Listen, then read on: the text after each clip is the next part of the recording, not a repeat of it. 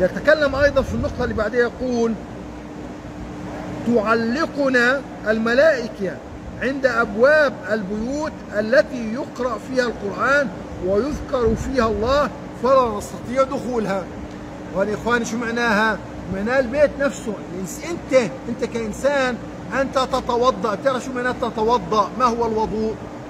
في فرق إخواني للمناسبة هناك فرق ما بين الوضوء وما بين الوضوء. الوضوء بالواو بالضم الوضوء هو الماء الذي تتوضأ به. وأما الوضوء هو الفعل وضع هو الفعل ويعني الضياء الوضوء من الضياء. يعني أنت تضيء. عندما تتوضأ بالوضوء أنت تضيء. بضوء يراه الملائكة وتراه الجان ولكن الوحيد الذي لا يرى مين هو الإنسان. فنحن لا نرى أنفسنا إلا أنه الملائكة من السماء ترى أصحاب الوضوء كالنجوم على الأرض. من إيش؟ من وضوءها. عشان هيك علمنا الرسول صلى الله عليه وسلم أن الوضوء شطر الإيمان. لأنه شو بيسوي؟ يحفظك من الشياطين. وكيف أنت تتوضأ؟ قد توضئ يعني تجعل بيتك وضوء. في ضياء بإيش؟ بذكر الله. وبتلاوة القرآن. فإن أنت أكثرت من ذكر الله وتلاوة القرآن أنت تضيء هذا البيت وفي هذه الحالة البيت الوضوء تعلق الملائكة الشياطين على أبوابه ولا تستطيع دخوله أيضا إخواني نقطة تكلم فيها يقول فعل الخير يؤثر علينا ويدحرنا يعني أنت لما تقوم بأي عمل خير شو بيسوي سبحانه وتعالى؟ يحصلك بهذا العمل.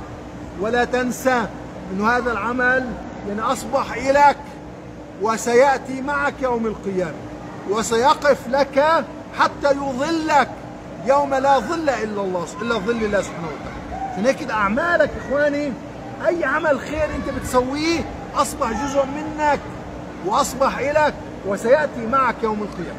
فأكثروا من أعمال الخير هذه ستمنع عنكم الشياطين. ونعلم إخواني من أحاديث الرسول صلى الله عليه وسلم داووا مرضاكم بالصدقة. الصدقات يعني أيضا من أعمال الخير وهي تمنع ولا ننسى إخواني أنه معظم أمراضنا من فين؟ من الشياطين. في حديث الرسول صلى الله عليه وسلم شو بيقول؟ أكثر من يموت من أمتي بالعين. يعني عيون والعين لا تكون فقط من الإنسان تكون أيضا من الشيطان. نظرة الإنسان بنسميها العين ونظرة الشيطان شو بنسميها؟ النظرة. النظرة يعني في عندك العين في عندك النظرة سواء من الإنس أو الجن وكلاهما شو بيسووا؟ يصيبوا هذا الإنسان. ونذكر إنه يعني في ناس وللأسف يعني بتقول لك لا هذا كلام فاضي. نحن نتكلم بأحاديث صحيحة عن الرسول صلى الله عليه وسلم؟ يقول عليه الصلاة والسلام إن العين حق. ويقول عليه الصلاة والسلام إن العين لتدخل الرجل القبر وتدخل الجمل القدر.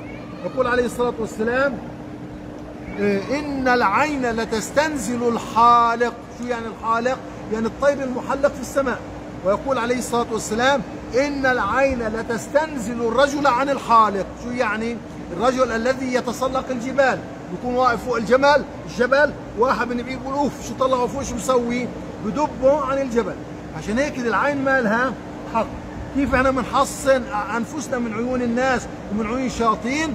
بالأعمال الصالحة وبالصدقة.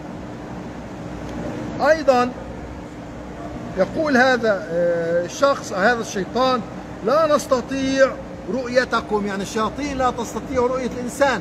الوضع الطبيعي إنه يراكم هو قبيله من حيث لا ترونهم انه إحنا ما بنشوفهمش ولكن أيضا نحن نصبح مخفيين عن الشياطين في هذه الحالة. شو بقول لا نستطيع أن نراكم. إذا قلتم اللهم إني أعوذ بك من الخبث والخبائث.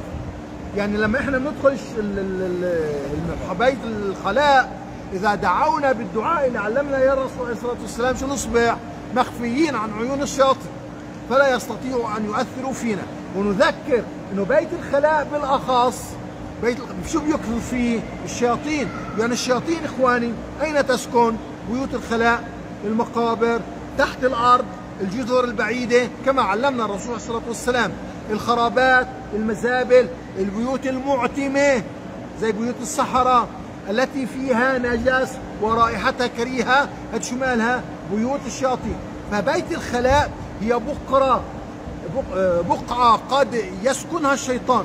حتى إنك أنت تمنع هذا الشيطان أن يؤذيك أو أن يوسوس لك في هذه البقعة شو بدك تسوي؟ دعاء دخول الخلاء. اللهم أجرنا من شر الخبث والخبائث. أو اللهم إني أعوذ بك من شر الخبث والخبائث. يقول أيضا نقطة أخرى. عند الفزع أو الخوف الشديد إذا قلت أعوذ بالله من الشيطان الرجيم ستمنعنا من دخول جسدك طلعوا يا إخوان هذه النقطة مهمة جدا لأنها شو بتسوي؟ تعلمنا حيلة من حيل الشياطين جسم الإنسان جسم الإنسان جسمك شو ماله؟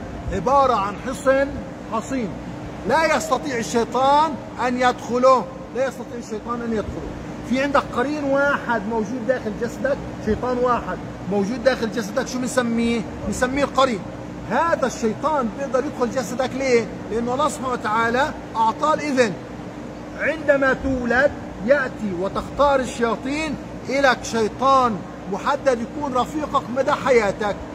وفي المقابل في مقابل هذا القرين الله سبحانه وتعالى شو أعطانا؟ أعطى كل إنسان عشرة من الملائكة الحافظة. حتى أنه شو تكون كفة الخير مالها أفضل من كفة الشر داخلك. ففي أنت نفسك في عندك قريب من الجان شو في عندك؟ عشرة من الشياطين. هلا الشياطين شو بتحاول؟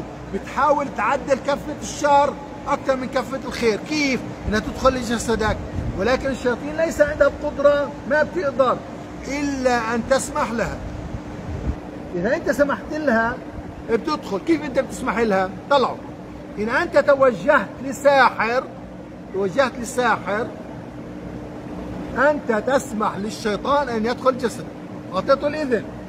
إن أنت دعوت لشيطان أن يأتيك وأن يحضر شو سويت؟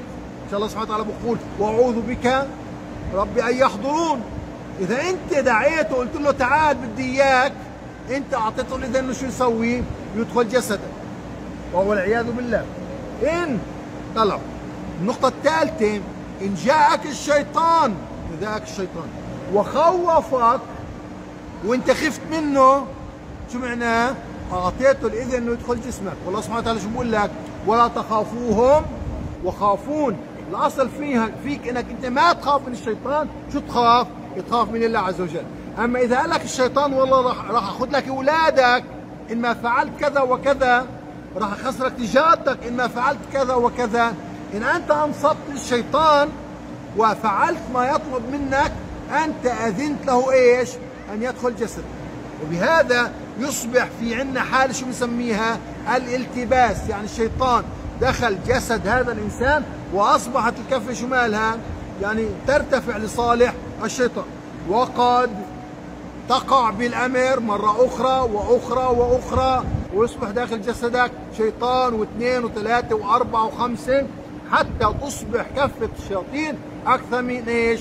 كفة الملائكة وبهذا تصبح ألعوبة بيد الشيطان.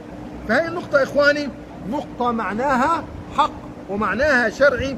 كما نعلم مما تعلمنا من الشرع إنه إن أنت فزعت أو خفت وبالتالي أنا أكمل عن النقطة اللي هو تكلمها إن أنت فزعت وخفت وتصرفت بما لا يرضي الله سبحانه وتعالى أو فعلت ما يغضب الله سبحانه وتعالى أو نفذت ما يأمرك به الشيطان شو أعطيت؟